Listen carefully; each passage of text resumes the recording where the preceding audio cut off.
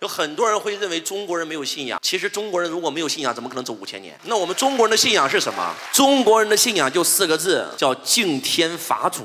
所以什么叫敬天？就中国，你看，不管是哪朝哪代的皇帝，一定要祭天、拜天、拜地，对吧？然后敬天法祖，法祖是什么意思啊？啊，我们这个老家，这个北方应该都知道，就咱们咱们那个咱们那个这个一进来，呃，中堂就会挂一个牌位，这个牌位上面写的什么？天地君亲师，这就是我们的信仰。天地就不用说了，天地就是道嘛，君就是我们的君君君上嘛，那跟着国家走嘛，那不用说的。亲是谁？咱们的咱们的双亲嘛，咱们的父母嘛。然后师是谁？就在中国叫师傅，就教你知识的叫师傅。师傅的父是那个不是单人旁那个父，是父亲的父。所以中国有一句话叫一日为师，终身为父。你想让这个老师教你，你就得链接他的能量，你把他当父亲一样，他把你当孩子一样，你的灵能量就瞬间变通了。而且周老师去过一百多个国家，我发现各个国家那些首富都是大孝子，他都是孝顺孝顺的。所以我们中国为什么说我们能够延续，我们能够延续五千年，就一条叫叫百善孝为先。百善孝为先是第一句，第二句大家更更清楚，叫不孝有三，无后为大，必须生个男的。就这一条，就中华民族就灭绝不了。听懂没有？你看那现在国外都不想生了，哎，是不是这样子的？所以我想告诉我们在座的各位，马上就要过清明节了，就过年你可以不回家，清明节一定要回家。当你回家一祭祖的时候，你可以瞬间链接上你老祖宗的能量。再讲话能不能听懂？但是祭祖是有方法的，你别瞎祭。你普通人祭祖是怎么祭的啊？祖先保佑我发财吧！如果我发财以后，你你干干啥呢？活着的时候不孝顺，老了的时候还让他保佑你啊？你看我是怎么祭祖的？这个感谢祖先护佑周氏家族，望祖先庇佑周氏家族再次崛起，光耀门庭，就就转头走了。祖先一看，那所有人都要保佑自己，只有这只有只有我们这个这个晚生。哎呀，这个要要光光耀门庭，那这光耀门庭就就先光耀你吧，就光耀你吧。你看拜佛，你们是怎么拜的啊？保佑佛祖啊，佛祖保佑我，这个啊，这个好，这好那好，好了以后我给你捐款，我给你，你把佛祖当当贪官了。你看周老师怎么拜佛的？啪一磕头，感谢佛祖普度众生，弟子愿意追随佛祖继续普度众生，让众生离苦得乐。然后讲完以后，啪走了，然后佛祖都懵了，知道吧？那所有人都保护自己，只有只有这个晚辈，只有这个这这要要要继继承我的遗。一致普度众生，那既然要普度众生，就先普你吧，就先先度你，那不就这么回事吗？玩笑归玩笑，就一句话，得记住，得记住，得对父母好，父母是根。如果说把我们想象成一棵树的话，那我们这棵树之所以能够生根发芽，长成苍天大树，到最后开花结果，父母就是我们的根呐。这样这样讲话能不能听懂？举个例子吧，今天一个中医看你身体，他看完以后，他能够推算出来你大概是你爸妈大概哪个年龄生的你，他能够推算出来你妈的身体怎么样？因为我们身体好不好是取决于父母的基因。这样讲话能不能听懂？换句话讲，就是我们身上的 DNA 是由我们的父母，由我们父母的父母的父母的，是有所有祖先一直五千年传传承到你身上，你身上是有整个五千年的传承的。这样讲话能不能听懂？就为什么昨天让你看那个视频，你会热血沸腾，你都不知道有什么感觉，你就泪就下来了。为什么？因为你身上流淌的是炎黄子孙的血液。所以当你当你懂得向你的这个跟你的祖先做链接的时候，告诉我那个能量大不大？那个智慧太大了，对吧？赚不到钱啊，就是啊赚不到钱。我就问他，我说为啥赚不到钱啊？我说你对你父母关系怎么样啊？他说父母离异了，嗯，一般啊。我说我爸这个这个这个跟我老婆吵架，我就把他赶走了啊，就赶回老家了。我说那房子是谁买的？我爸买的呀，还很嚣张。我说你爸给你买了个房，然后他跟你老婆吵架，你把你爸赶走了。他说是啊，这这么理直气壮吗？我说你这回家记不记住？他说老师，我信仰的是基督教，我不能记住，废了。就这一句话就废了，听懂没有？你可以信仰基督教，但是你不能说你信仰了基督教就从此就不上坟了。你把根儿给断了吗？这样讲话能不能听懂？那树把根儿砍了，你告诉我那个树怎么长啊？我说你必须得记住。他说老师，我这个，我说你信仰基督教，基督教怎么不让你记记住了？他说我说你现在还信仰基督教吗？他说基督教给我开除了。我说开除你多少年了？开除我三年了。我说那这三年你记住了没有？他说没有。我说你看你以前不记住，记祖先能理解你，你说你信仰基督了，你三年前都被开除了，你还不记住，你还是人吗？哎呀，哎呀，对。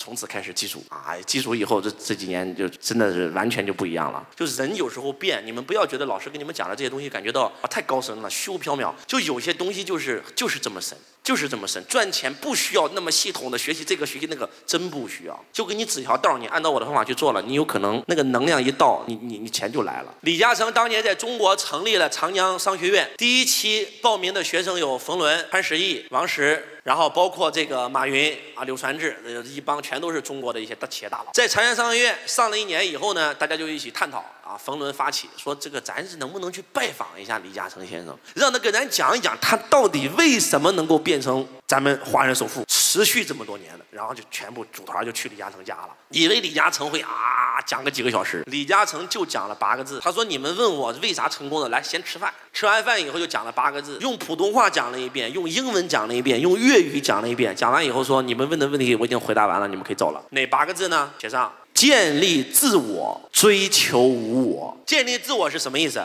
在座各位，今天有一个飞机飞着飞着失事了，然后大家都降落到荒岛上了，都想重回。家园，请问这一群人一定会推选出一个领头的，叫领袖。那请问他们会推选谁呢？是最有钱的，是最有学历的，是当官的，是机长？不是，是大家都迷茫、都痛苦、都不知道该怎么做的时候，突然有一个人登高一呼说：“来，跟我走。”就大家都不知道，遇到一个事慌了，不知道该怎么做了，只有他知道。他为什么知道？那大家都想当老板，为啥有一帮人做员工，一个公司只能有一个老板呢？那为啥那些员工不独立出去做老板呢？为什么要成为追随者而不是领导者？就是因为他迷茫，他。没有方向，他不知道这件事发生了应该怎么做，所以他才会找一个人跟随。这样讲话能不能听懂？所谓的领袖，就是因为他有一套属于自己的独立运行的思维意识体系。写上一句话：老板学习的唯一目的是建立一套属于自己的独立运行的思维意识体系。就像昨天周老师讲到，整个宇宙是一张 A4 纸，中间那个小点儿是意识，这是普通人的思维，所以普通人会感觉到自己如蝼蚁一般渺小。但是如果你把这一